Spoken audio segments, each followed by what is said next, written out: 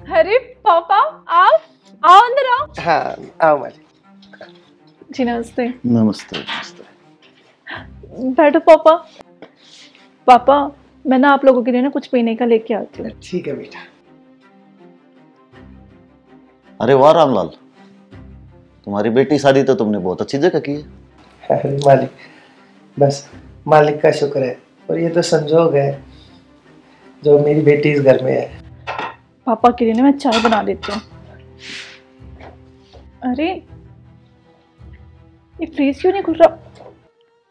लगता है मालकिन फ्रीज में लॉक लगा गई है। अब क्या करूँ? कहाँ से चाय बनाऊँ? मेरे पास तो पैसे भी नहीं है। और पापा ने तो अपने मालिक को ये बोल दिया है कि अपने बेटे की इन्होंने यहाँ पे शादी की है। पर उन्हें क्या पता? कि मैं इस घर में नौकरानी हूँ। अगर पापा के मालिक को पता चल गया कि मैं इस घर में एक नौकरानी हूँ तो क्या बीतेगी पापा में? क्या करूँ? कुछ समझ नहीं आ रहा। ऐसा करती हूँ। इन लोगों को ना पानी दे देती हूँ।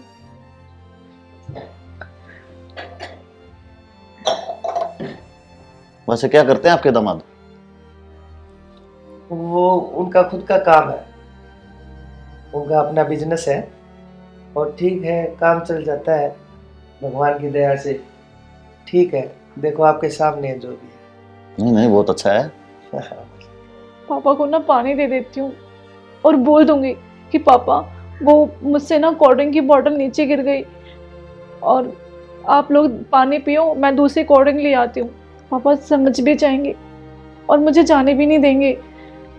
लगता है रामलाल तुम्हारे दामाद का ना बहुत अच्छा बिज़नेस चल रहा है। हाँ मालिक बहुत अच्छा बिज़नेस चल रहा है उनका। और वो है ना विदेशों में भी उनका माल सप्लाई होता है। इंपोर्ट एक्सपोर्ट का बहुत बड़ा कारोबार है उनका। अच्छा इंपोर्ट एक्सपोर्ट करते हैं? जी। पापा पानी। ये लीजिए मालिक।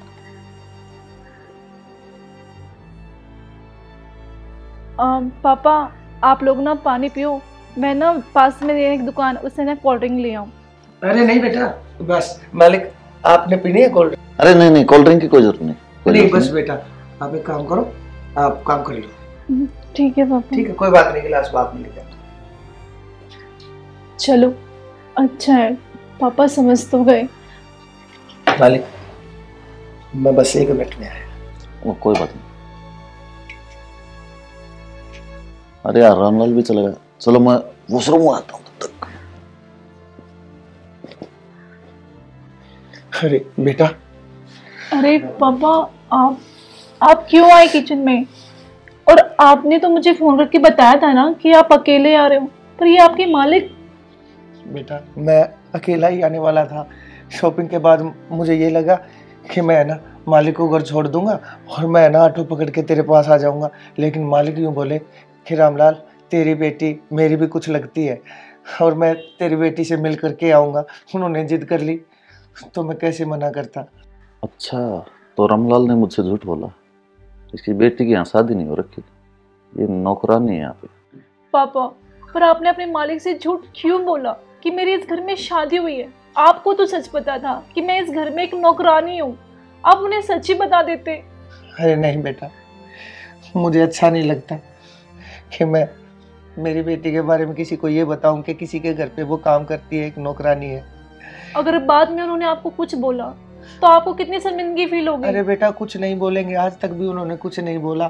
और तू चिंता मत कर चिंता मत कर वो कुछ नहीं बोलेंगे। मालिक बहुत अच्छे हैं और उनको पता नहीं चलेगा और पता चल भी गया तो कोई बात नहीं। वो बहुत अच्छे हैं। वो मेरी बात का बुरा नहीं मानेंगे।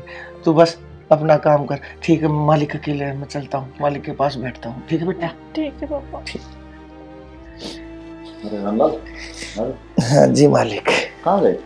कुछ नहीं वो बेटी को कुछ पैसे दिए थे। चले मालिक।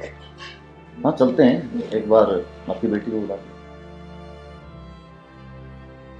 अरे बेटा। आ, आई पापा। एक बार आना जरा। जी पापा। ये लो कुछ पैसे? अरे मालिक इतने पैसे? मैंने दे तो दिए थे। रामलाल मैंने तुम लोगों की बातें सुन ली थी और ये पैसे काम आएँगे? दे दो इनको। वैसे भी ये मेरी छोटी बहन जैसी है। और रामलाल तुम्हें मुझसे झूठ बोलने की ज़रूरत नहीं थी। क्या तुमने इतना गैर समझ लिया मुझे? मालिक मैंने ज़िंदगी में कभी आपसे झूठ नहीं बोला। लेकिन आज मैंने आपके सामने झूठ बोला मालिक और आपने मेरे झूठ के ऊपर